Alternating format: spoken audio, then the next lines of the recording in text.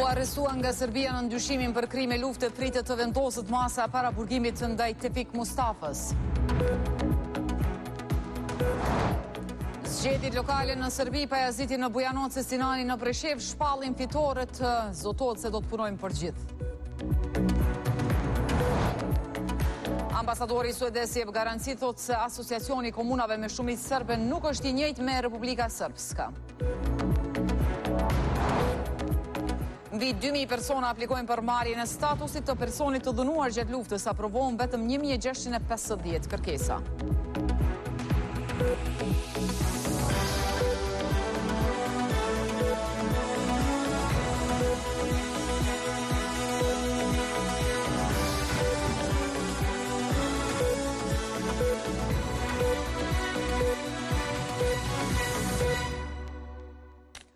Përshëndetje të nderuar shikues të televizionit 7, është ky edicioni i lajmeve i orës 15 dhe këtë edicion e nisim me lajmin për 70 vjeçarin Tefik Mustafa, shtetas i Kosovës dhe gjithashtu i Italisë, i cili të shtunën është arrestuar në kufirin me Merdarën, teksa po zbriste nga autobuzi i nisur për në Itali. Mustafa u arrestua me dyshimin për krime lufte dhe seanca për masën e sigurisë ndaj tij është caktuar për sot, por ende nuk është bërë e ditur ora se kur do të fillojë ajo. Ministria e Punëve të Jashtme dhe Diasporës e Kosovës e ka dënuar arrestimin e tij dhe ka kërkuar presion ndërkombëtar ndaj Serbisë për ta liruar Mustafën. Prokuroria për Krime Lufte e Serbisë pretendon se Mustafa është i përfshirë në rrëmbimin e tre policëve serbë më nëntëmbëdhjetë qershor nëntëdhjetë e nëntë. Por i biri i tij, Qamil Mustafa, ka thënë se ai nuk ka qenë fare në Kosovë gjatë luftës. Në nëntëdhjetë e shtatën, më njëzet e katër gusht, ka dalë, ka migruar për në Gjermani. Kjo është akuzë e pabazë, ngase prej nëntëdhjetë e shtatës deri në dy mijë e katërtën nuk ka mundur të vijë në Kosovë, ka vdekur gjyshi dhe nuk ka mundur të marrë pjesë në varrim, ka thënë Qamil Mustafa. Ai është shprehur se babai i ka telefonuar dhe është detyruar të flasë në serbisht, në mënyrë që bisedën ta kuptojnë edhe autoritetet serbe.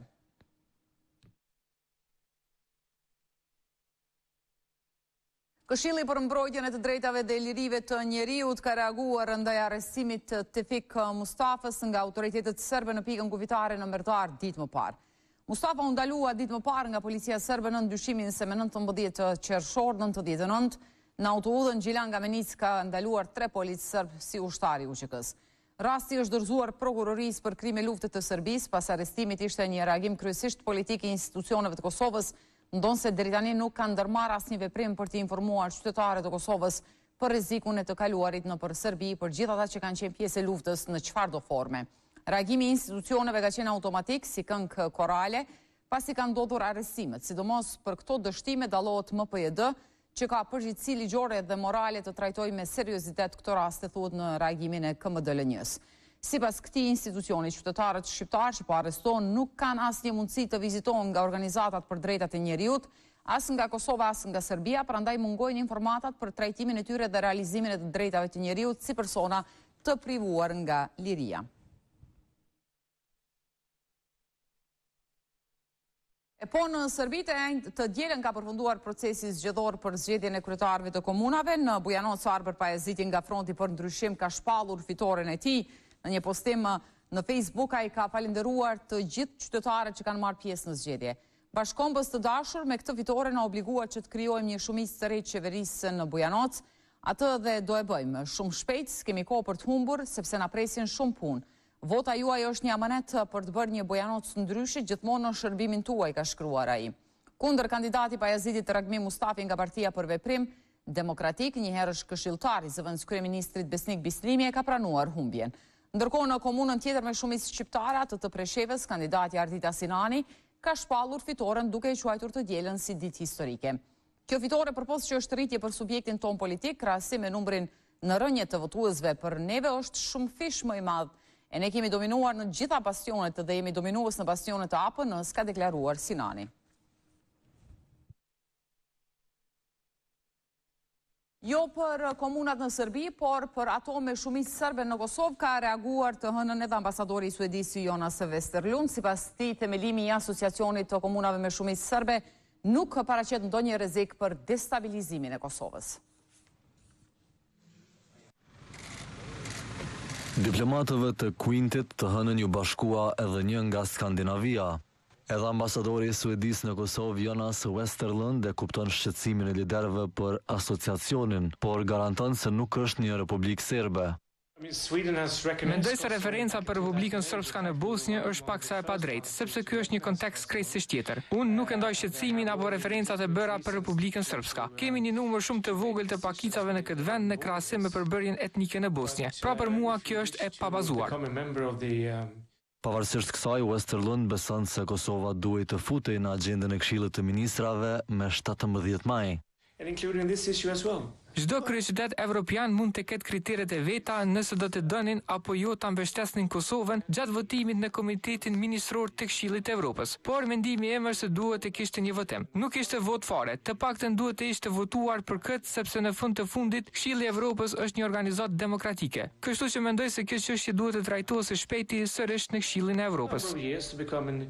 Ai ka thënë se Suedia e njeh legjitimitetin e Kosovës për të ndërmarrë çfarëdo veprimi në territorin e saj, por se duhet më shumë koordinim me aleatët ndërkombëtarë. Në këtë intervistë, ambasadori suedez gjithashtu rikonfirmoi mbështetjen e shtetit të tij për anëtarësimin e Kosovës në të gjitha organizatat euro-atlantike.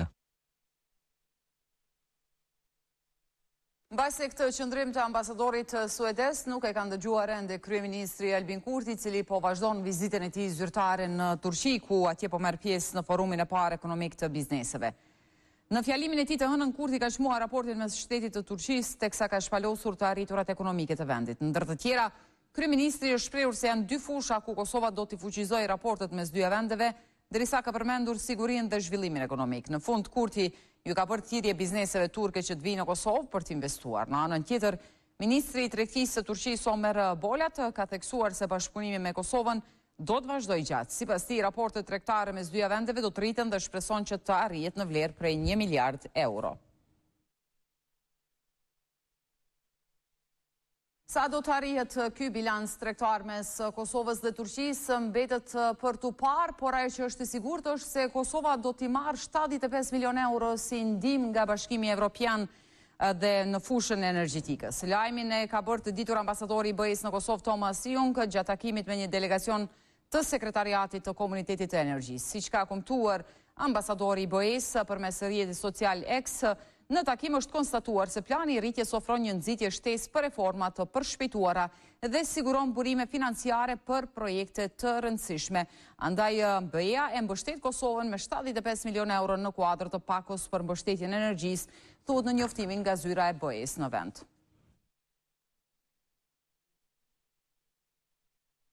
Ndërkaq nga institucionet e vendit po kërkon mbështetje komuna e Malishevës dhe kjo për menaxhimin e situatës për luftimin dhe parandalimin e etheve hemoragjike. Përmes një njoftimi kjo komunë kanë bërë të ditur se është duke vazhduar me dezinsektimin e zonave endemike për luftimin dhe parandalimin nga pickimi i rriqrave. Në një njoftim thuhet se ky proces gjatë fundjavës që shkoi është zhvilluar në qytetin e Malishevës, përkatësisht në hapësirat më të frekuentuara dhe në periferi të qytetit, ndërkaq do të vazhdojë në zona të tjera në ditët në vijim. Ndërkohë, sot është mbledhur për një takim Komisioni Qeveritar për Njohjen dhe Verifikimin e Personave të Dhunuar gjatë Luftës. Gjatë raportimit, kryetari i këtij komisioni ka njoftuar se janë mbi 2000 aplikime të realizuara deri tani, ndërsa vetëm një pjesë e tyre kanë marrë këtë status të viktimës. Rreth 20 mijë gra para 25 viteve u dhunuan seksualisht nga serbët. E tash në liri shumë nga to s'e gjejnë forcën ta thonë me zë tmerrin që kaluan, Pikërisht për njohjen e statutit të viktimës së dhunës seksuale në Komisionin Qeveritar për Njohje të Statusit të Personave të Dhunuar gjatë Luftës u dorëzuan dy mijë e tetëdhjetë e tre aplikime. Kjo u bë e ditur këtë të hënë gjatë raportimit në Komisionin për të Drejtat e Njeriut, Barazi Gjinore për Persona të Pagjetur, Viktimat e Dhunës Seksuale të Luftës dhe Peticione. Prej momentit kur kemi fillu me i pranu aplikimet e deri me sot i kemi dy mijë e tridhjetë e tri raste. Prej dy mijë e tridhjetë e tri, më falni, dy mijë e tetëdhjetë e tri raste, dy mijë e tetëdhjetë e tri raste, prej të cilave të aprovuara janë një mijë e gjashtëqind e pesëdhjetë, ndërsa të refuzuara janë treqind e gjashtëmbëdhjetë. Në pritje për intervistë janë po ashtu dyzet raste. Kritika për verifikimin e aplikimeve pati kryetarja Duda Balje. Ata ma shumë kan pas ankesa te sjellje domethën gruaja qashtu ka thon une kur kam hi mrenda ata m'i ka thon heke kmishën për me pa shenje shenje pas njëzet vite. Ndërkohë deputetja e Aleancës për Ardhmërinë e Kosovës, Albana Bytyçi pyeti për kërkesat e refuzuara Prej dy mijë e tetëdhjetë e tri rasteve, treqind e gjashtëmbëdhjetë raste i kemi të refuzuara. Çka keni bo me këto raste, a vetëm i keni refuzu edhe ma nuk jeni marrë me këto, apo a keni marrë naj diçka tjetër, a.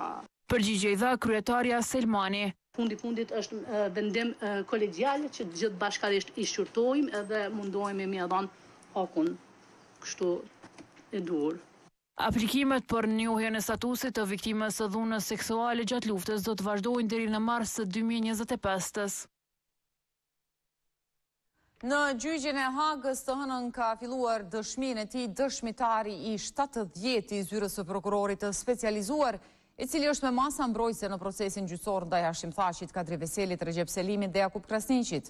Sipas përmbledhjes së lexuar nga përfaqësuesi i ZPS-së, prokurori James Pace, Dëshmitari ishte anëtar i LDK-së i cili ishte ndaluar së bashku me një person tjetër dhe janë rrahur. Deklaratat që dëshmitari kishte dhënë më herët në ZPS bashkë me materialet përcjellëse janë pranuar si prova materiale. Të gjithë të akuzuarit kanë qenë të pranishëm në sallën e gjyqit përveç Jakup Krasniqit, i cili e ka ndjekë seancën përmes videolidhjes.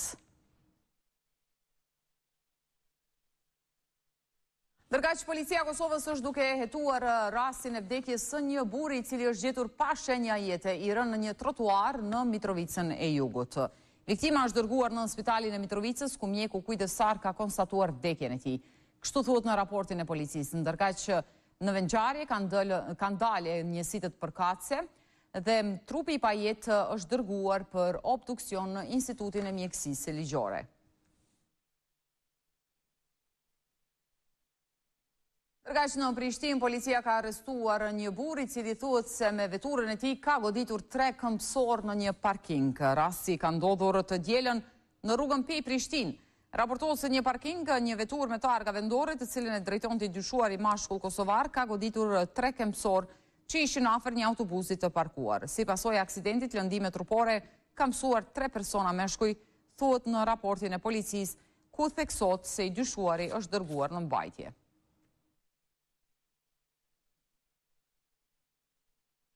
Ndërkaq policisë në Shqipëri i ka dalë punë me arrestimin e një tridhjetë e pesë vjeçari shtetas i Kosovës, i cili është shpallur në kërkim nga autoritetet belge për veprën penale vjedhje me dhunë. I dyshuari DPKR banon në Kosovë dhe pritet të ekstradohet në Belgjikë.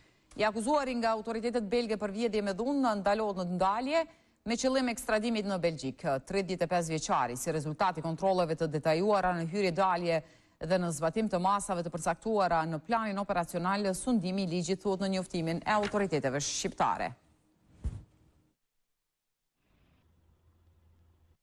E shpresojmë më të mirën që të zgjidhet për Mirlind Dakun, vlera e të cilit aktualisht është 1.5 milion euro në tregun ndërkombëtar të futbollit. Dhe me këtë lajm po e mbyllim edhe këtë edicion të sotëm të edicionit të orës 15 këtu në televizionin 7. Faleminderit për vëmendjen tuaj, mirëmbetshi.